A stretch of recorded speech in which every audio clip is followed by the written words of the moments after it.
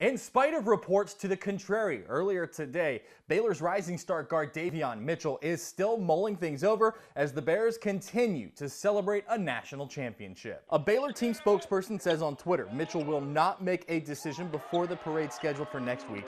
In response to a report this morning, Shams Charania from The Athletic originally reported earlier today that Mitchell would declare for the draft as a potential lottery pick. Yesterday, we talked about the fact that Baylor had become just the fifth school in the country to win national championships in both men's and women's hoops. But they did it in even more rare fashion than that. It's just the fifth time that that feat has been done in the same or consecutive NCAA tournaments. Here's where it gets even more mind-blowing. It's only the second time it's been done at a school not named UConn. North Carolina won a men's title in 93 and a women's title the year after. UConn won a men's title in 99, a women's title the next year, and had sweeps in 2004 and 2014. It's something Scott Drew credits to the fans. Uh, but it was a great feeling. I just want uh, uh, the fans to be able to see what they helped us earn because without them, uh, we wouldn't have been able to do it. And uh, this is a, a we thing.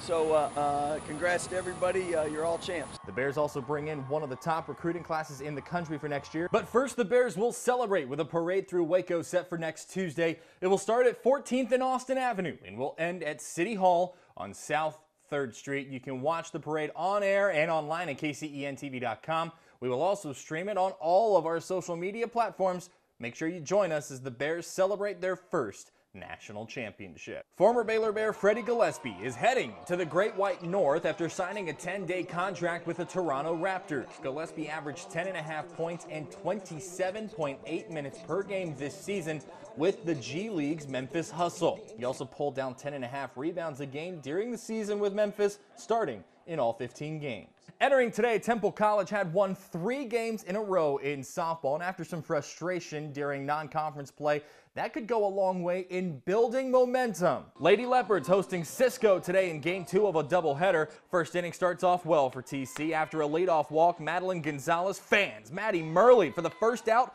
the rest of the frame is all Wranglers. On a pass ball, Peyton Vasquez makes a mad dash home. Cisco's up 1-0. Then Bailey Buck hits one to shallow center. Sarah Papazan scores. It's 2-0 Cisco. The Lady Leopards would come back, though, and make it five straight wins. Baylor's softball series scheduled for this weekend against number one Oklahoma has been postponed due to Big 12 Conference COVID-19 guidelines. This comes on the heels of the Lady Bears midweek doubleheader against Abilene Christian scheduled for yesterday being postponed for the same reason. Right now, Baylor is scheduled to return next Wednesday at home against Texas State. And finally, the roof is open on a beautiful Wednesday for baseball Rangers hosting the Jays. Bottom second, Nick Solak channeling his inner Adrian Beltre, crushing one over the wall and left off his knee. Solo shot, Rangers up one zip. In the eighth, Marcus Semien destroys one to left center. Vapor trail behind it. That cuts the Ranger lead in half, but the Rangers get the win. 2 1, your final score. That's it for sports.